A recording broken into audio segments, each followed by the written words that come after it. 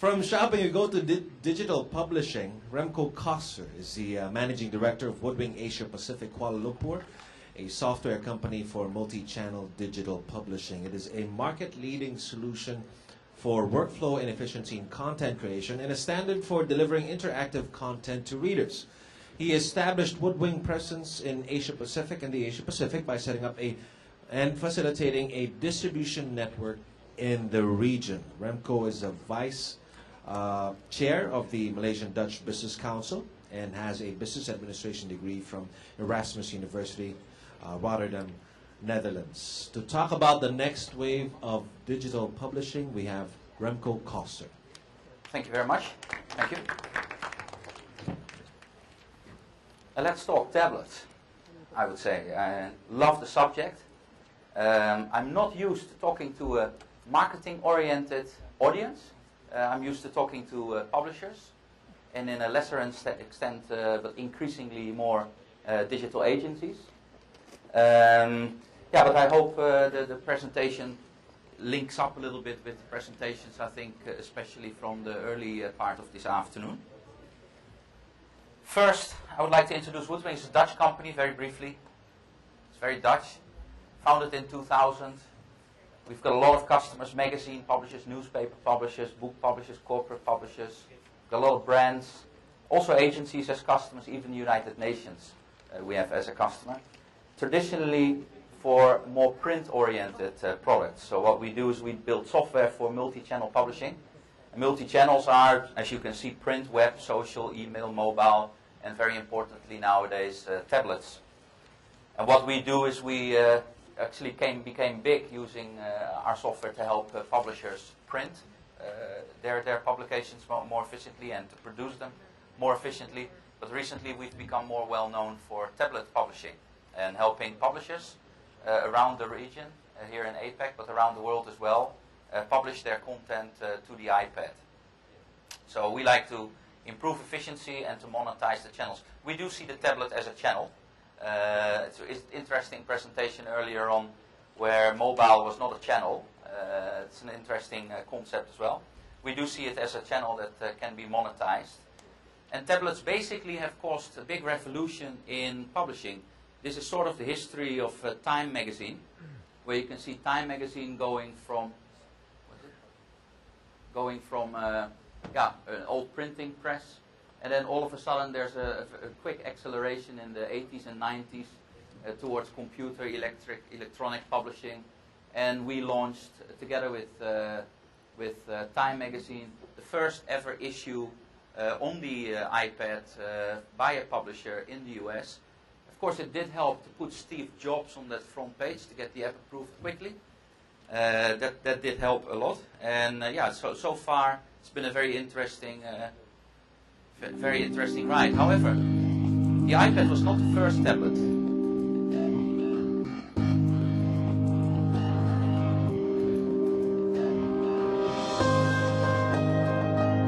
Long history, good graphics,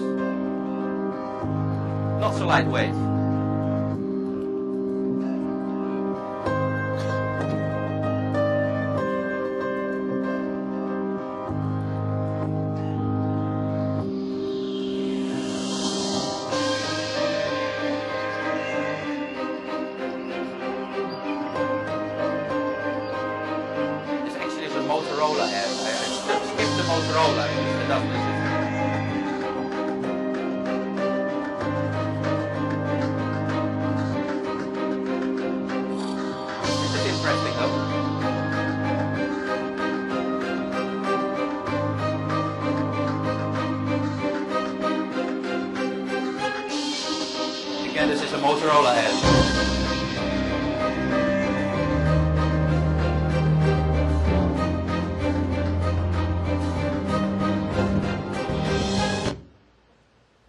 There goes the Motorola. we all know what happened to them, but I still think it's a good uh, it's a good video eh, to to put things a little bit into perspective. And you know, if I go to conferences now, or if I walk around, or if I'm in a Starbucks, I just cannot imagine that there's no iPad anymore. Even though it was only two years ago that the iPad uh, was launched, it's become such a natural part of my life, of our customers' life, and also yeah, very uh, interesting part of our customers' lives, uh, of our publishers' lives, uh, because a lot of the publishers in Europe and the US they're not blessed with increasing ad spend like a lot of the publishers in this part of the world. In Indonesia, uh, for example, the ad spend for newspapers, that's the, the, the print ad spend, increased 8% last year. For magazines, that was 6%. It's not a lot of countries and not a lot of areas in the world where you can say that. So it, it's, it's a very important uh, channel for these uh, publishers. And it's been a, quite a battlefield as well. Uh, this is Sports Illustrated, also one of our customers in the US. And Steve Jobs also promised in his autobiography that he was going to basically revolutionize digital publishing. And I think he did do that. Because it brings basically new advertising opportunities for publishers, new distribution opportunities, yes, but also new advertising uh, opportunities. And you can see websites, I think, failed advertising a little bit. A lot of people expect things for free. Uh, brands, uh, you know, don't really want to advertise or pay a lot of money to advertise. It's been a bit of a struggle to grow it uh, significantly. Although in the US, uh, ad spend uh, for digital is quite is quite healthy now. Uh, in some parts of this world, not so much. Philippines, I believe, digital ad spend is between 1 and 2%. In Malaysia, it's less than 1%. In Indonesia, I believe it's 5 to 6%. So there you already see uh, more, more growth in, uh, in digital ad spend. But yeah, tablets, tablets uh, fuel ad engagement. There's also a new threat for publishers. If publishers don't create interactive uh, publications, uh, or publications that offer advertisers an engaging uh, advertising experience. Brands will start their own tablet experiences and also become our customers. And that's what made me come to events like these, and increasingly so, where a lot of brands, if they want to advertise in a digital uh, or in an iPad app, in our experience, um, you know, the, the, the, advertising agencies don't really know how to build anything other than a HTML5 sort of uh, website. They cannot really create uh, uh, yeah, good interactive experiences. One of our customers, ABS CBN, has an app, the, Metro Manila. If Mercedes wants to have an interactive ad with hotspots that you can touch and video to play in uh, that specific uh, publication. Uh, the agencies, sort of next week, then the agencies at the moment don't know how to do that, except provide a website. So that's a, that's a challenge, I think. And uh, yeah, as I said, a threat for publishers as well if they don't produce engaging apps. a lot of publishers also see Apple and Amazon taking cuts and see them as an enemy rather than as a friend, where we are actually telling the publishers, well, actually, Apple and Amazon are your best friends. They do take a cut, but they provide an awesome framework for you to, to sell into in a marketplace that you can sell your content into. And so they're basically your friends, not your enemies. And there's a lot of education we had to do also as a technology vendor, which is quite funny, because traditionally you sell software and you know someone implements it, and then the customer is happy or not happy, depends. Hopefully, mostly happy. Uh, now we need to explain to Apple what publishing is, or what publishers want, uh, what their needs are, what their fears are, what their demands are, and we need to tell also publishers what Apple wants, how Apple works, how the iTunes store works, how subscriptions works. Why do you why do you have to be on newsstand? So there's a lot of consulting work uh, and, a, and a lot of mediation work uh, that uh, has happened over the last couple of years. Because these stores give publishers brand new ways to monetize uh, their content. They can sell subscriptions, they can sell individual issues. There's multiple payment options. People can subscribe through the App Store, for example, or people can have their own digital, or publisher can have their own uh, subscription system that then can integrate and they can give access to the content on the digital platform uh, to these, uh, yeah, their own customers. And for apps, I think there's a lot of different flavors out there at the moment. There's a lot of different publishers. The brands have done different, different things. Uh, some of them uh, developed a solution that's more streamed. It's sort of like a glorified website. USA Today, I think, is an example of that. Uh, it's, it's cheap, it's easy to reproduce, It's difficult to get people to pay for advertising in it because there's not a lot of interactivity in it, and you know people cannot engage with the advertising, so it's a bit limited. And only partly it works offline, uh, and a lot of uh, a lot of publishers and a lot of brands still see the tablet as a as a web browser. Uh, they don't realize, but I think in the Philippines it's different. That uh, and it just came up in the other discussion as well. That internet connectivity is not so good everywhere. We see that also in Indonesia. Yeah, to create an application, an iPad application or an Android application that uses very heavily off on, on, on the in online content is a little bit of a shame. You know, you have to prepare uh, and help your, your, your, your consumers by giving them the content uh, in an offline manner and combine it with an online uh, component. Then you have uh, personalized magazines, for example, Zinio, uh, which basically is very cheap because Zinio says, well, you can give it to us for free. We just use your print PDF, and uh, and that's it.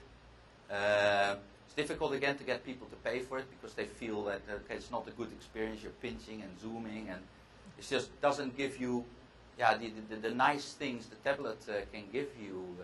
Know, if you have infographics, it's nice to touch things, and then things pop up. You can actually, in quite a compact space, put quite a lot of information and, and engagement. So that doesn't really uh, uh, give uh, publishers and brands, I think, a lot of monetization options. PDF view is a little bit similar to that.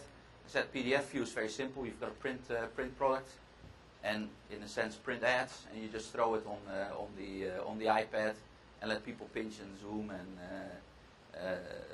one of our, our, our, our publishers, New Zealand Herald, had a nice comparison. He said if publisher does that, they actually pretend uh, basically, they throw a blanket over a television and pretend that it's a radio, and it's not. You know, it's a real shame that you do that. You don't get the best uh, experience. So we specialize in, in providing designed issues. So basically, you, giving you an engaging experience. You've got front pages of magazine that play video, that have things happening. You can have ads, like uh, Nivea ads that you can scratch, you can touch, and things happen uh, make it a much more exciting uh, uh, experience. That's where, where we see the future. And of course, you've got HTML5 apps as well that, that are popular, but again, difficult to pay for. it only partly works offline. And yeah, store and monetization is a little bit difficult.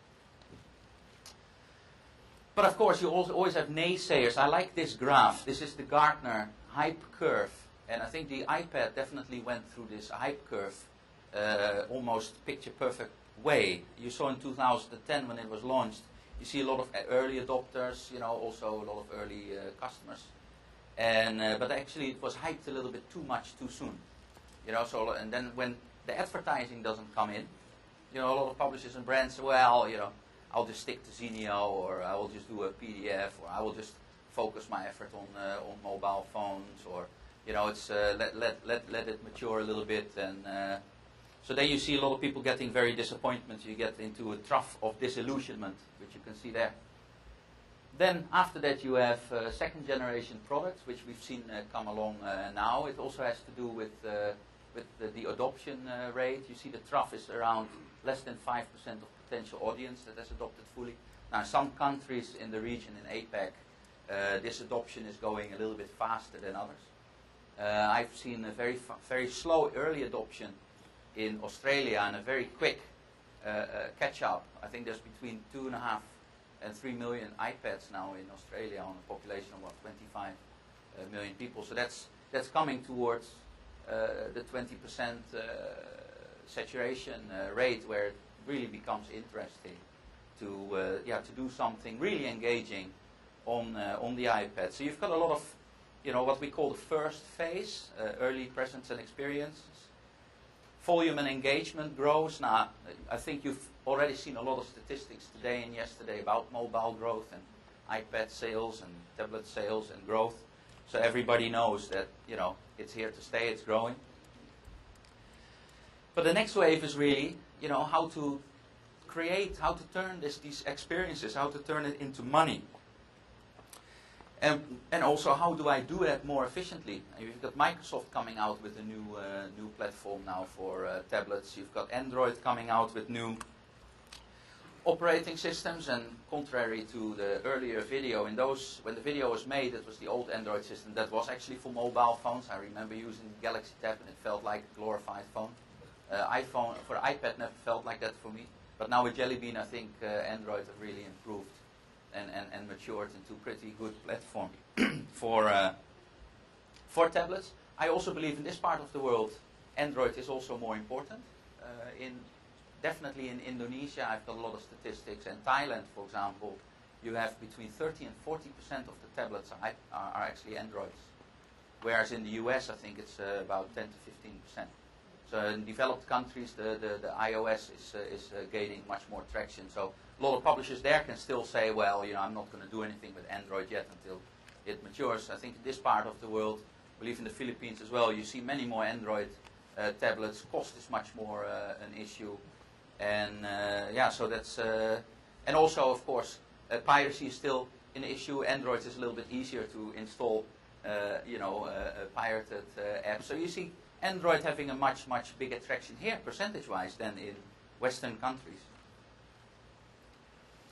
What do publishers want to see? Now, publishers don't want to see the curve on the left, where basically the revenue is going up, but the cost is also going up quite, quite fast. So it's very difficult to actually make money on it. You know, you've got new websites you want to do, you have to spend more money, and you know the, the, the online business is not really that uh, that uh, that profitable. This is for websites. Now, if you see the desired tablet, tablet business, uh, yeah, the desired business model is uh, very different. You see the cost slightly increasing, and you see the revenue increasing much faster. So that's, that's uh, I think, an important thing uh, for publishers to, to be aware of. And for that, it's imp important to improve the efficiency and also to monetize the channels uh, better. Now, we work together with Adobe Digital Publishing Platform since November last year. Before that, Adobe wasn't really ready. We built our own, uh, our, our, own apps. Uh, Adobe has some interesting statistics, interesting business insights from uh, Western countries, which we can learn from. We have an ideal opportunity here in this part of the world, and I think that goes also for, for, for uh, the, uh, the previous uh, panel discussion, to learn from what has happened in, in Western countries, in developed countries. And one of the things that, uh, because it will eventually happen here, is uh, that 68% of digital publishing's downloads are actually paid for. And the interesting statistics are that 15% still buy single issues just when they go, as if they would go to a magazine uh, store. 26% uh, go through subscriptions through the App Store. And some publishers are really slow to adopt to this because they said, well, we, you know, if we have subscribers, our own subscribers, we know a lot about them, and we need that for our marketing efforts, etc., uh, etc. Et so some publishers, they, they, they, they, yeah, they were a bit stubborn and uh, didn't uh, want to sell digital subscriptions through iTunes. Even our own customer Time Inc. didn't want to do that. They had to hire, even though we've been telling that already for them for a couple of years, uh, but they had to hire a very expensive company called Bain & Co., uh, to tell them that uh, they had to start selling iTunes subscriptions. So they're doing that now. And you can see, but still, there's a good possibility for direct entitlement, uh, so the publisher's own subscription uh, system. Interesting is, and that's also for advertising very interesting, that readers engage with 48% of interactive features that are used in the DPS publication. So, you know, if you have, say, 20 pages with hotspots, videos, you know, the designer can be happy because yes, he's spending all this time build making nice interactive uh, publications. Actually, 48% of the features that he's building are actually being used by uh, the consumers, by the readers. And especially video, but also web views are very popular. Uh, web components are very nice to combine in, in with offline uh, components. For example, you can include polls that are online. Um, so there's a lot of nice nice things you can do with uh, what, with HTML5, actually building that inside your offline uh, experience. And also interesting that they open up the publications on an average five times per month, which if you go into the statistics of the average app on your iPad is quite high. I think there's been some uh, some research done that some apps are only opened once every two months because people have so many apps on their uh, on their iPad. So five times per month is pretty good. And 55%, and that's important also for advertisers, spend more than 25 minutes in them. So you've got a very high quality uh, user uh, experience. iTunes subscriptions, as I said, uh, some publishers were slow, some publishers were fast. I think most publishers in the US are now selling uh, iTunes subscriptions. Uh, Popular Science was first, and they sold 10,000 subscriptions in the first six weeks. Now, they've got about 1.2 million print subscribers, so for them it's still small, but it's significant, and it's somewhere to, to, to start building on. Uh, on uh, and, and, and most important, it's, it's profitable for them uh, to produce engaging uh, content. Apple Newsstand, when, when magazines launch and newspaper launch on, on newsstands, uh, you know, that you can also very clearly see a huge spike in, in downloads.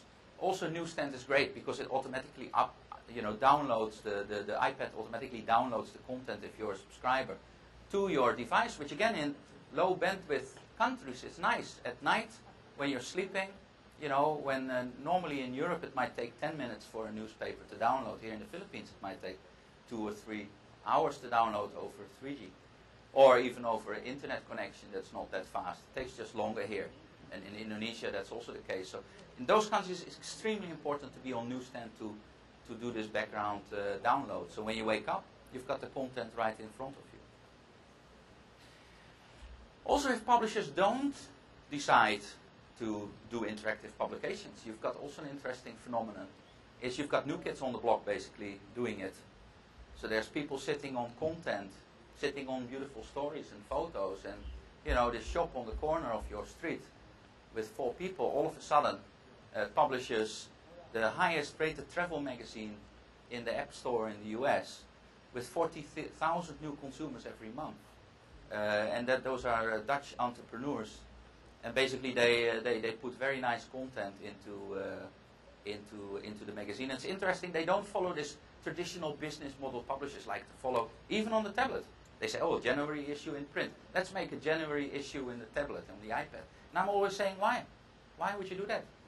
So what TRVL do is they just basically have city specials or, or subject specials. So this is about game parks. So one issue only about game parks. One issue about Paris. One issue about Manila or the Philippines. So you've got bite-sized chunks that are not too large to download with a nice, uh, engaging uh, content. I did manage to convince Vogue in Australia, uh, News Limited, to follow that as well. And they, for example, I, I said to them, you know, you're doing all these beautiful fashion shoots, photo shoots. How many of those photos and videos actually end up in your print magazine? Why don't you make a nice, nice uh, tablet issue around that? Because you could put all these videos in there, all these photos in there. That they did, and they're doing really well. So, so you know, you have to also take a step back and, and look at it uh, in a more out of the. And they basically look at uh, how, how much publishers actually, actually optimize the content that they have for the tablet. So how many do they use hotspots? Do all the links work? Do they use nice videos? You know, do they optimize uh, the experience? It was the only app in the whole Asia Pacific region that ended up in the top 10 of uh, their uh, of their survey. It was also sponsored by the Thai Tourism Board. Very interesting Joe Zeff design. Actually, this is paid content. Uh, made uh, an app, Final Hours of Portal 2. It's a design studio, actually, that used to do, you know, advertising uh, campaigns and, and things like that. They decided, well, you know, the publishers, we, we, we really, really love this platform. The publishers are not doing much with it. We just build our own apps. So basically, they built Final Hours of Portal 2. Became the number one iPad app within one week in the US App Store. So they were actually selling it for money. And, you know, this, they, they, they, this guy is now speaking at events all over the world explaining how he, as a digital agency, all of a sudden, uh, you know, uh, produces his own apps. Time Inc. even hires him uh, to do work for them. The memorial issue of 9-11 uh, that Time uh, published uh, late last year was fully designed by Joe Zeff. George Steinmetz, a very famous photographer, his photos and his idea for he, he, he, basically pitched to National Geographic. National Geographic, they were still uh, thinking you know, putting a putting a PDF on the iPad. So, so George Steinmetz approached Joe Zeff. He said, "Can you make this app for us?" And Joe Zeff said, "Sure." Made this beautiful app. Also became one of the biggest uh, selling selling commercial iPad uh, apps in the in the US. So it goes to show you if you don't do it, if the publisher doesn't do it, someone else will do it and make money with it. And Joe Zeff also had an interesting uh, quote. He says, What you did before belongs in a scrapbook. You know, uh, he's a New Yorker, very direct. What you do next is what really matters. Uh, and focus, extend your brand, turn passive experience into active ones, and also price it sensibly. I see some publishers really charge crazy money for the magazines, and then people complain about you get a one star or two star rating in the App Store. People saying, "Well, I like the magazine, but I don't want to pay that much for it." So publishers really are cro- at crossroads, and brands and agencies as well. I'm now also increasingly talking to agencies because they don't know at the moment, or they don't have the tools at the moment to produce these uh, these ads. They've got InDesign to create PDF ads, so that's not a problem to supply to the to the to the uh, to the customers, to the publishers. They can build web uh, ads, no problem. Banner ads and things like that's no problem. Uh, but to create nice interactive uh, advertising is a problem. They just don't know how to do it, and the publishers, you know, that I've been talking to are increasingly getting frustrated with the agencies not uh, being able to offer them uh, interactive ads in their uh, in their magazines, and some even now are contemplating setting up their own agencies. So that's not what the agencies want, I believe. So basically, uh, publishers require new tools because they want to do, do easy uh, launch of new titles, monetize efficiently. That's basically where we come in. So this is the pitch. Uh, so you use Woodwing and Adobe DPS to do that, but this is not a pitch presentation. So I will just show you the engagement uh, that you can create with uh, with DPS. You can, you know, pen and zoom. You can have 360 uh, degree images. You can in integrate web content, hyperlinks, audio, panorama uh, you know, slideshows. There's so many things you can do. It's also important, uh, of course, to be able to monetize it. So, so we provide you with the technology that makes it easy for you to be in iTunes, to be in the App Store, to be on Newsstand, and to also combine it with your existing subscription systems. And also, we help you monetize uh, by creating uh, yeah, engagement, engaging advertisement. And also, very important is analytics a lot of, lot of publishers and a lot of, lot of advertising agencies, well, you know, what's the analytics? How, how many times have people clicked? What are the metrics? Problem is, they still approach it as a website. So they say, well, so what are the click-throughs? You know, that's not important for a, for a tablet application. If, if people, it's important how long people watch a video.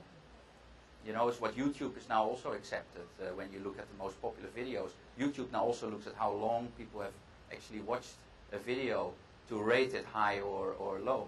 It's important to see that people actually engage with 48% of the digital features, of the interactive features. Those are the ones that are important.